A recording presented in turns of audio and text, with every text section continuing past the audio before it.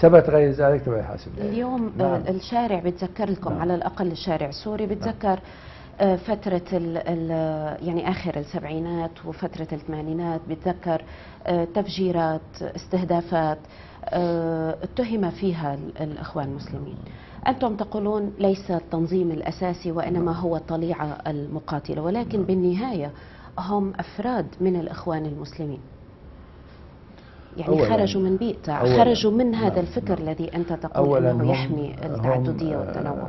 صحيح بعضهم كان بعضهم وليس الكل. وعندما تصرف بعض التصرفات فصلوا من التنظيم لأن ثقافة التنظيم ليست هكذا. لكن هم كان آه، آه، فعلهم رد فعل.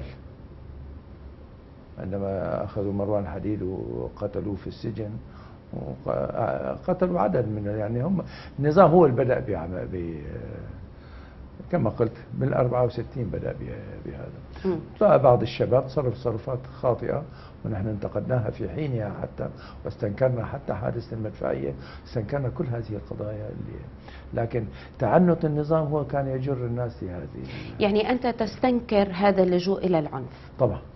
اليوم الإخوان المسلمين تنبذ العنف. نعم. قولا واحدا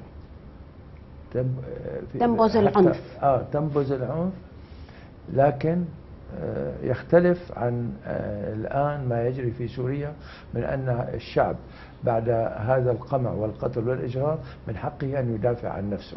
هذا وحده ال- والعنف اللي ما له مبرر. الآن هذا لم يعد عنفا أصبح دفاعا عن النفس دفاع مشروع عن النفس. التميز بين هذه وهذه. يكون في طيب هل هل اليوم أنتم مستعدون في هذه اللحظة الحساسة نعم. بتاريخ سوريا بطبيعة الحال نعم. هل أنتم مستعدون أن تقدموا مثلا اعتذار للشعب السوري آه، آه، عن الفترة التفجيرات اللي صارت للم الوحدة الوطنية لغسل ال- ال- النفوس؟ أي تفجيرات؟ الثمانين الأزبكية والمدفعية واستهدافات فردية. نحن إذا بدنا نعتذر نعتذر عن الفاضل فعلناها والعلي دكتور العلي والصايغ نحن لم نفعل طويلة. هذا. مم. آه، أحطك بصورة كمان أكثر من هيك. إيه.